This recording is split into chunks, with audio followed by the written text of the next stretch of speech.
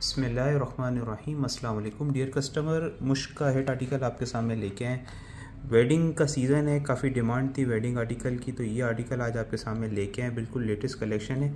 ठीक है डिटेल के साथ इसको अनफोल्ड किया, आपको बताते हैं। सबसे पहले प्योर रॉ सिल्क का ट्राउज़र है इसके साथ, जो कि आपने नीचे बिछाया ताकि आपको कलर वाजह हो सके।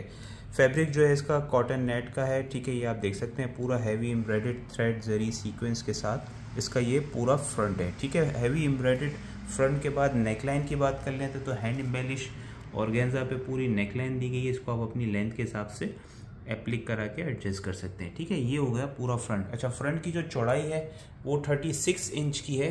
फुल साइज़ की चौड़ाई दी गई है और जो लंबाई है, वो इस फैब्रिक की 38 इंच की और इसके बाद जो नीचे बॉर्डर है, ये तकरीबन 11 इंच का बॉर्डर है। तो ऑलमोस्ट इसकी, आपकी जो लेंथ है रेडी हो जाएगी 48 इंच की। दामन का बॉर्डर ऑर्गेन्जा का है, इसके ऊपर आप देख सकते हैं मिरर का सारा काम है। जैसा ओरिजिनल में था सेम एज उसी पैटर्न पे इसको रेडी किया है। ठीक है तो फ्रंट हो गया, अब आ जाते हैं स्लीव की तरफ़। कॉटन नेट की स्लीव्स है, ये आप देख सकते हैं कॉटन नेट की स्लीव्स है। शोल्डर के मोटिव्स हैं, पूरे हैंड एम्बेलिश मोटिव्स हैं। एक ये मोटिव दिया गया है और एक ये मोटिव दिया गया है। इसको आप अपने शोल्डर के मुताबिक एप्लिक कराएँगे। ठीक है, इसके बाद जो है, एक ये लेस दी गई है। हैवी एम्ब्रॉयड कॉटन नेट पे ही ये पूरी स्लीव्स की वन यार्ड की लेस है। बैक की तरफ़ आ जाते हैं तो जिस तरह फ्रंट पूरा हैवी एम्ब्रॉयड है सेम उसी तरह कॉटन नेट पे पूरा हैवी एम्ब्रॉयड बैक है।